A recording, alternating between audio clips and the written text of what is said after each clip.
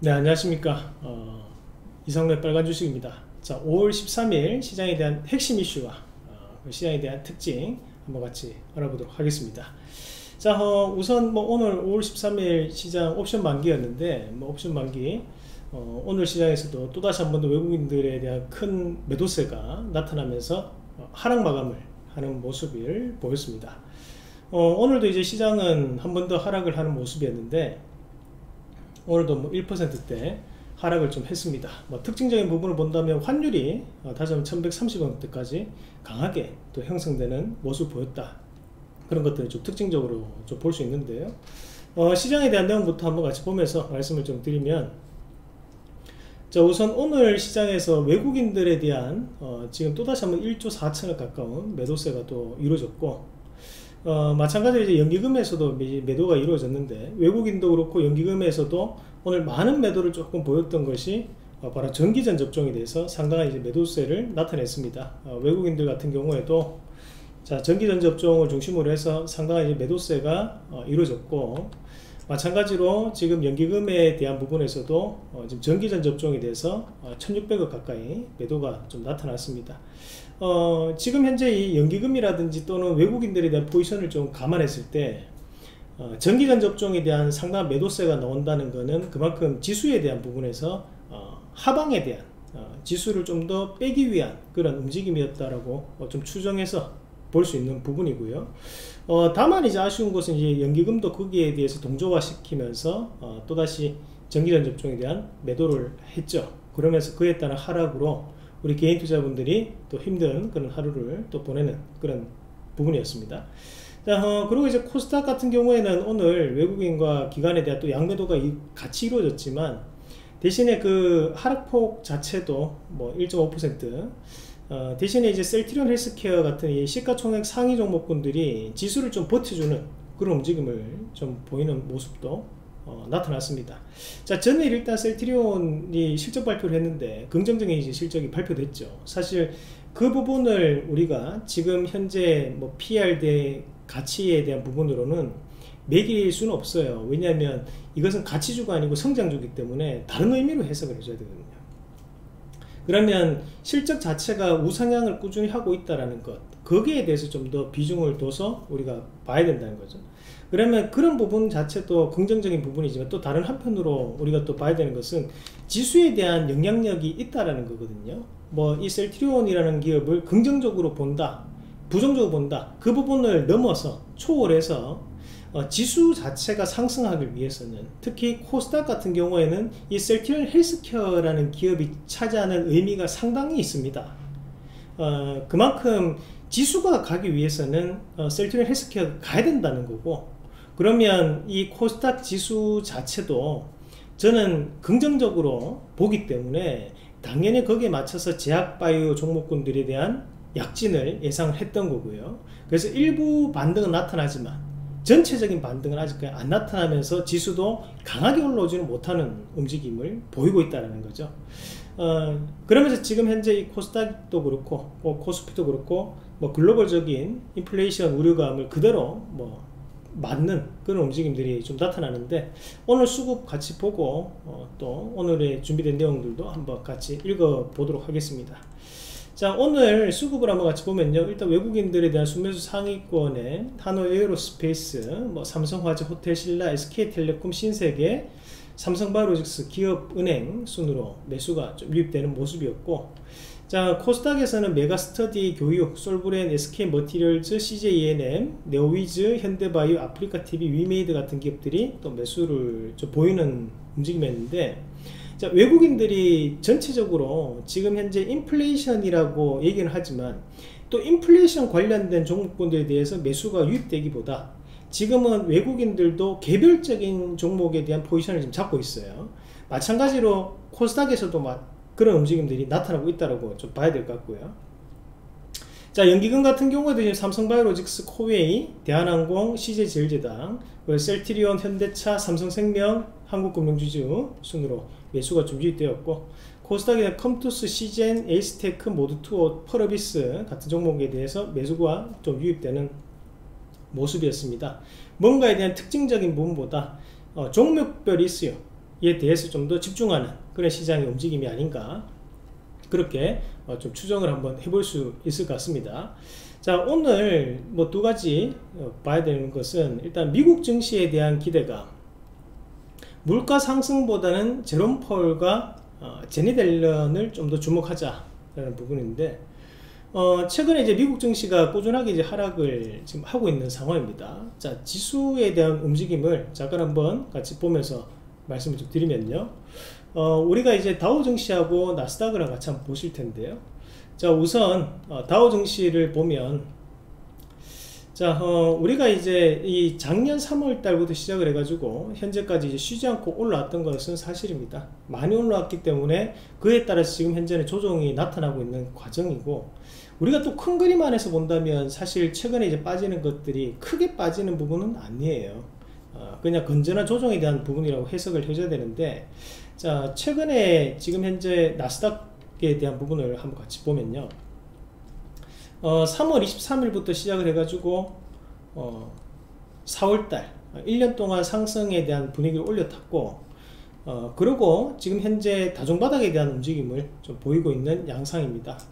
어, 그래서 여기에서 이제 추가적인 하락이 나타날 것이냐 아니면 여기서 다시 한 번 더 반등을 좀 붙일 것이냐에 대한 부분인데요. 어, 단기간에 최근 들어서 많이 빠졌죠. 많이 빠진 모습이었고 어, 지금 저는 뭐 인플레이션에 대한 우려감은 우리가 어제도 봤지만 물가 상승에 대한 지표를 보면서 인플레이션에 대한 얘기는 했었죠. 어, 그러면 인플레이션에 대한 부분에서 제가 판단하는 바는 달러와 약세라는 것이 전제 조건이 돼줘야 된다는 거죠. 하지만 단기간에 다시 한번 달러가 강세 기조로 바뀌고 있는 그만큼 시장 자체가 불확실한 것이 확대가 되다 보니까 지금은 또 달러에 대해서 기축통화가 다시 한번 또 조금 부각받는 그런 양상이 좀 나타난다고 보거든요. 어, 그러면서 지금 다시 한 번 더 뭐 농산물 가격도 그렇고 원자재 가격들도 일부 소강 상태 또는 조정 구간을 조금 나타내는 모습들이에요.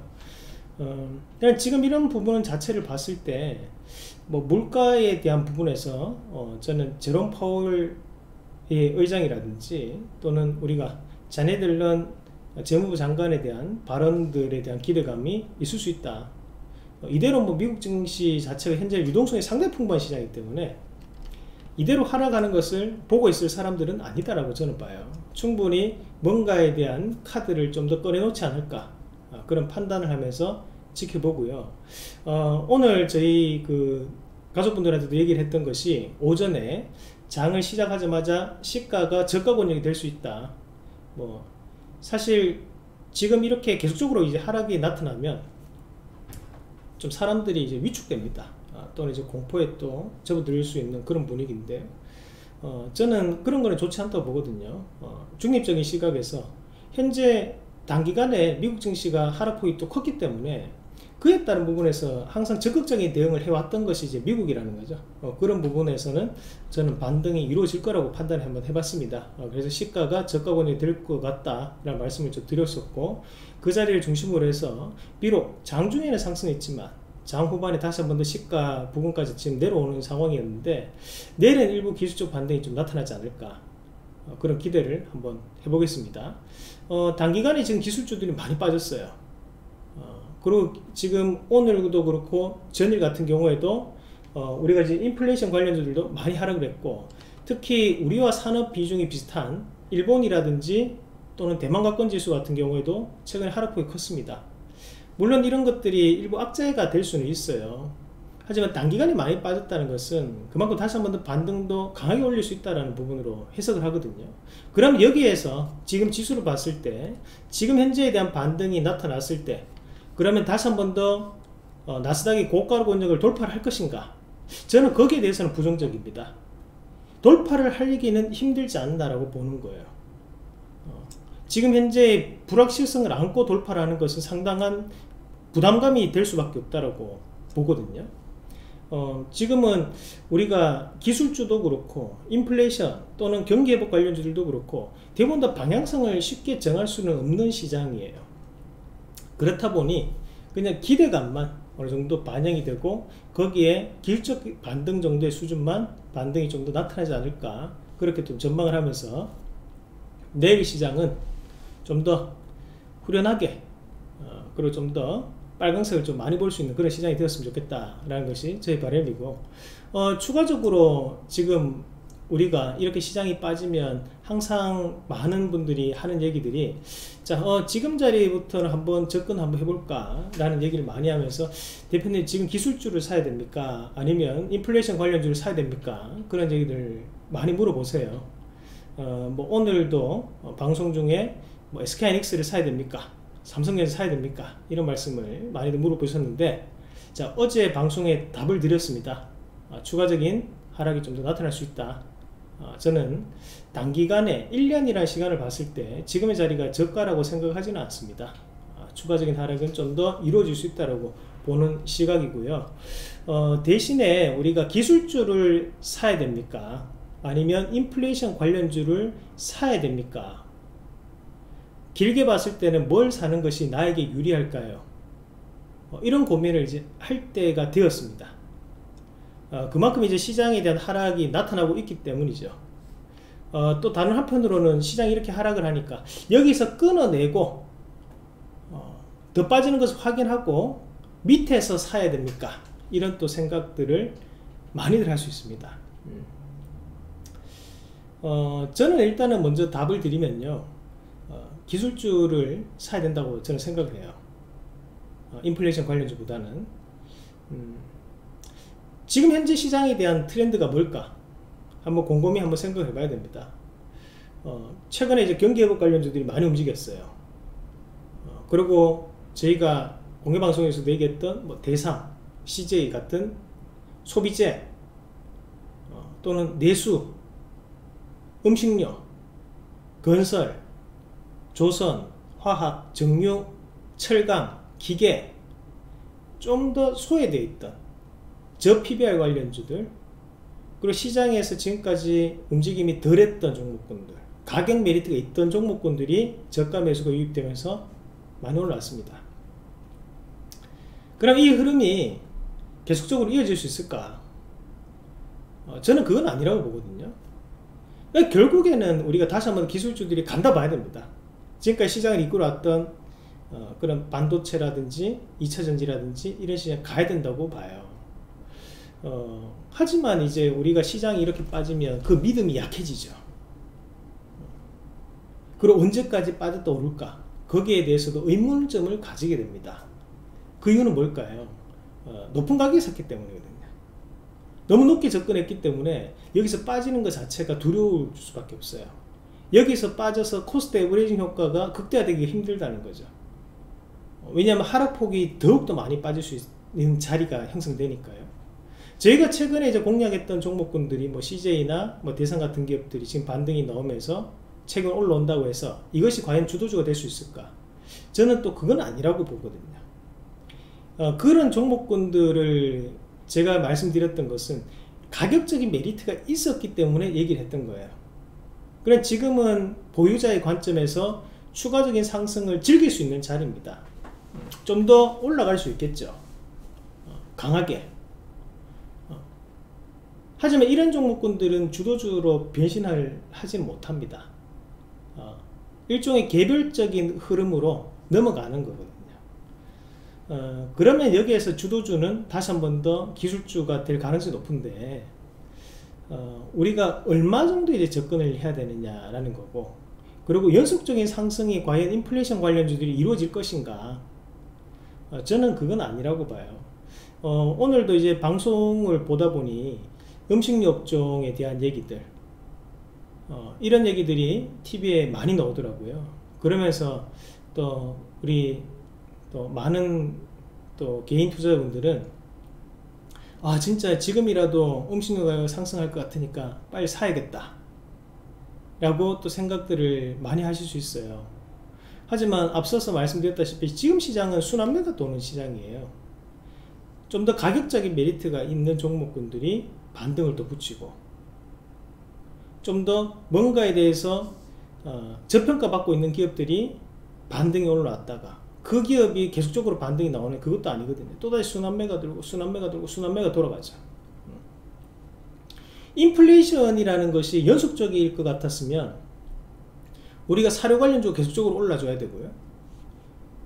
또는 농산물 관련 계속 올라줘야 됩니다. 철강 관련 계속 올라줘야 되죠. 근데 그런 종목군들도 올라가니까 어떻게 합니까? 차익 매물이 또다시 나와버립니다. 그래서 빠져버려요. 어, 지금은 단기적인 흐름에서 외국인도 그렇고 기관도 그렇고 계속적으로 단기적인 차익 매물이 나오는 시장이에요. 지금은 주도주가 없는 기술주는 기술주대로 비싸가지고 접근하기 힘든 거고 그렇다고 이제 경기 회복 관련주라든 인플레이션 관련주들 같은 경우에는 어, 그에 따른 메리트를 계속적으로 나타내는 것은 힘들다는 거죠. 어, 우리가 지금 시장이 이러면 한 달 전을 돌이켜 보면요. 한 달 전까지만 해도 어, 제 주변에 있는 지인분들도 뭘 살지를 물어보면 대부분이 2차전지 또는 전기차를 얘기합니다. 어. 그래서 이 시장은 엄청나게 커질 것이라는 생각을 하면서 저한테 어필을 많이들 해요. 어, 근데 지금 돼서 이렇게 빠지면 언제 그랬냐는 듯이 그 업황이 언제 그렇게 좋았냐는 듯이 입을 꾹 닫고 있어요. 어. 달라진 건 없거든요. 그죠? 달라진 건 없어요. 2차 전지가 갑작스럽게 없어지는 것도 아니고 어, 산업의 물결 자체가 다시 한번 내연기관 쪽으로 넘어가는 것도 아니고 시간이 지나면서 자연스럽게 전기차 업황은 더욱더 확대될 수밖에 없는 건데 어, 대신에 거기에 따라 가지고 어, 시장이 빠졌으니까 종목군들이 빨강색이었다 지금 파란색이 많이 보이니까 투자 심리 자체가 그냥 위축되는 거죠 어, 지금 이 업황이 뭔가에 내가 모르는 문제가 있는 거 아니야? 어, 지금 접근을 하면 안 되는 거 아니야? 혼자 한 번 더 의심을 하게 됩니다. 예전에는 90만원, 100만원 에서도 샀던 LG화학이었는데 지금 80만원까지 내려가도 야 혹시나 더 빠지는 거 아니야? 못 사게 돼요. 못 사게 되죠. 어, 이 기업이 달라진 건 없어요. 달라진 건 없는데 대신 나의 생각이 달라진 거죠. 어, 빨강색이었을 때와 파란색이었을 때에 대한 색깔 구분을 하게 되고 또 시장이 안 좋다는 생각을 하게 되고 그러면서 어, 여러 가지에 대한 왜 빠졌을까에 대한 이유를 달게 되고 의심을 하게 되는 거죠. 어, 저는 항상 이제 중립적인 시각이 필요하다고 보는데요. 그래서 항상 이제 올라간 종목, 많이 상승한 종목은 접근하지 않는다라는 기본 원칙으로 말씀을 항상 드립니다. 어, 지금도 마찬가지인 것 같아요. 어, 지금 현재 현금을 또 보유 계신 분들도 많으실 거고 다시 한 번 더 코로나 때처럼 그렇게 빠지는 것을 바라는 분들이 많으실 거예요. 근데 막상 그렇게 빠지면 과연 몇 명이서 살 수 있을까? 어, 지금은 10명이면 10명 더 산다고 얘기하지만 실제로 그렇게 빠지면 그 중에서 한두 명만 삽니다. 어, 똑같습니다. 근데 그때에 대해서 우리가 살 때는 기술주를 사야 된다. 기술주를 사야 된다. 어, 제가 판단할 땐 추가적인 하락이 분명히 나올 수 있습니다. 시장은. 음. 충분히 이제 가격적인 부분에 접근을 할 수 있는 그런 기술주 자리가 나올 가능성이 저는 있다고 봐요. 그러니까 그때 지금 가지고 있는 마음을 잃지 않고 접근해 보는 건 어떨까라는 말씀을 어 먼저 드리고 싶고요. 어 마찬가지로 이제 지금 시장에서 인플레이션 관련주들이 반등이 크게 나타난다고 해서 그걸 가지고 막 우리가 지금 자리에서 내가 대출을 해가지고라도 한번 장기적으로 보면서 사보겠다 라는 것은 상당히 어리석은 판단이에요. 어, 제가 볼 때는 또 다음 주에는 또 순환매가 또 다른 쪽으로 또 들어가거든요. 뭐 우리가 지금 또다시 시장에서 본다 경기 회복 관련된 뭐 건설 업종이라든지 또다시 철강 업종이 또다시 저는 반등이 나올 수 있다고 보거든요. 그렇다고 해서 그런 종목군들이 여기서부터 100% 200% 올라가는 건 아니에요. 일부만 올라가겠죠 그런 것들을 이제 감안해 가지고 우리가 대형주는 어, 최대한 이제 길게 가져가면서 뭔가에 대해서 이제 나에게 큰 수익 또는 나의 장기적인 부분에서 보험 같은 어, 꾸준히 받을 수 있는 연금에 대한 형태에 대한 그런 대형주를 저는 사야 된다고 생각을 하고 대신 이제 중소형주 같은 경우에는 어, 우리가 뭐 수익으로 기회비용을 살리면서 손절할 수도 있고 어, 또는 매매를 통해 가지고 단기 대응도 가능하다고 저는 보는데요. 어, 우리가 현재 구간에서 추가적인 시장에 대한 하락이 나타났을 때 어, 그때는 고민하지 말고 기술주를 사자. 어, 기술주를 사자라는 말씀을 좀 드리고 싶었습니다. 어, 마찬가지로 이제 인플레이션에 대한 우리가 객관적인 정리를 한번 해본다면 결국에는 이제 인플레이션이 길게 가지는 않더라고요. 어, 지금 인플레이션이 문제가 되는 것이 달러에 대한 약세로 인해 가지고 물가가 상승을 했고 경기 부양책을 너무 많이 했기 때문에 물가가 상승을 하는 거거든요. 그건 여기서 간단한 답이 있습니다. 바로 유동성을 축소시키면 돼요. 왜 미국이 중국보다 어, 물가 상승이 더 높아요? 중국은 유동성에 대한 부분을 동결을 시켜왔고 미국은 아직까지도 유동성을 확대해 나갔던 거기 때문에 물가 상승률이 현재 높은 거예요. 그러면 답은 심플하죠. 유동성을 줄이면 되는 거예요. 유동성을. 거기에 대한 얘기가 분명히 나올 수 있다. 그러면 지금 이런 인플레이션 관련된 우려감도 어, 일부일 것이다. 일시적인 부분일 것이다. 어, 시장은 항상 급락이 나오면 또 급등이 나옵니다, 여러분. 자, 긍정적으로 어, 저는 시장을 다시 한번 더 말씀을 드리겠습니다. 그래서 일단 내일 시장엔 기술적 반등이 이루어질 것이다. 아, 그리고 시장이 추가적인 하락이 나타나면 그때는 기술주를 우리가 매수를 해보자. 라는 말씀도 어, 함께 드리도록 하겠습니다. 뭐 사실 오늘 시장에서 전체적으로 지금 3일 연속으로 좀 빠지다 보니 어떤 업종에 대해서 좀 집중적으로 얘기하는 것은 큰 의미가 없을 것 같아요. 전체적인 시장 자체에 대한 분위기가 어떻게 흘러가고 있고 거기에 대해서 내가 어 조금 더 지금 시장이 나중에 다시 한번 상승했을 때 수익이 날 수 있는 방법이 뭔가? 저는 그게 제일 중요하다고 보거든요. 어 그런 측면에서 말씀을 드린 내용이니까요. 어 참고를 하셨으면 어 좋겠습니다. 자 어, 저희가 이번 주 어, 같은 경우에는 어, 다음 주 화요일 날 저희가 교육이 있습니다 그래서 이렇게 시장이 안 좋은데도 불구하고 많은 분들이 현재 교육에 참여를 하셨고 아직까지 선착촌에 대한 자리가 남아 있습니다. 아, 그래서 음, 좀 더 이렇게 시장을 선점할 수 있는 종목을 발굴해 보고 싶다. 나 혼자서도 어, 이상로 대표처럼 주식을 한번 해보고 싶다 하시는 분들은 교육 신청하셔가지고 함께 노하우를 한번 들어보시고 상반기 피날레를 어, 장식할 수 있는 추천 3개도 함께 드립니다. 그것도 꼭 참고 한번 해보시길 바라겠습니다 자 오늘 어, 내용은 여기까지 말씀드리고요. 어, 뭐 계속적인 걱정을 하시는 분들도 계실 수 있고요. 좀 더 마음 편하게 아니 뭐 어떻게든 되겠지 하는 분도 있을 수 있고 또 어떤 분들은 아이 뭐될 대로 되라 모르겠다 포기하는 분들도 있을 수 있는데요. 포기하는 게 제일 안 좋은 겁니다. 어, 시장이라는 것이 항상 빠지고 상승하는 것을 반복하고 그 기대감을 가지고 올라가는 것이 시장이라는 걸 다시 한 번 더 명심을 하시면 좋겠습니다. 자, 이런 날도 있고 저런 날도 있고 어, 그런 것 같아요. 결론은 음, 항상 그래도 올라왔다. 어, 자, 시장을 긍정적으로 보자. 내일은 기술적 반등이 나온다. 그렇게 정리를 하도록 하겠습니다. 자, 어, 그러면 어, 오늘은 여기까지 말씀드리고요. 내일 좀 더 좋은 내용으로 찾아뵙도록 하겠습니다. 이상입니다.